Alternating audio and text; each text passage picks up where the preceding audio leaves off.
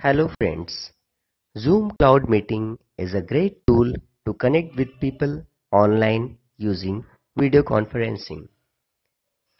And we have various options, various tools to share the screen and annotate on the screen while we are hosting a meeting. These options of sharing the screen and annotating on the screen is available to all including host and participant but sometimes it gets very difficult for us to manage or to stop the participant from sharing their own screen in between the meeting or annotating on the content which we have shared.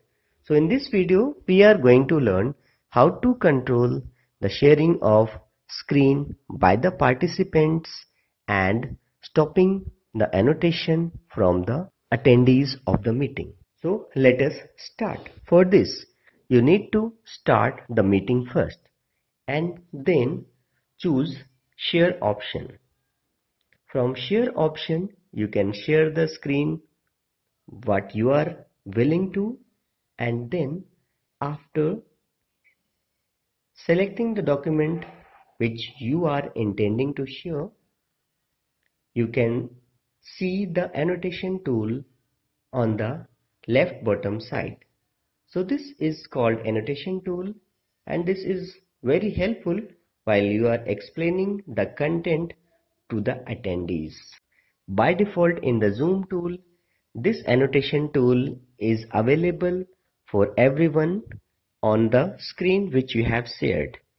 And if you have not turned it off, anyone can scramble on the screen and this situation may cause in embarrassment and may cause in difficulty in taking the meeting. So to turn off the annotation by the participant here we are discussing some of the settings which can be used. After starting the screen sharing option what we have to do is go to more option in more, we, we can see three options. Choose the last one, meeting settings. And from here, on the screen, you can see share screen option, which is by default enabled. And you should disable it so that the participants cannot share their screen. Same way, just below the share screen, we have an option, rename themselves. So you can also stop participants from renaming themselves. Then next one, how to stop the annotation from the participant side. So here for this in the content share option, we can see the annotation option here, which is by default turned on. It means that participants of the meeting can annotate on the screen which you have shared. So to stop the participants from annotating on the screen, we must turn off this option. Also, if you have allowed the participants to annotate on the screen and you want to know the name of the annotator, you can turn these both options on.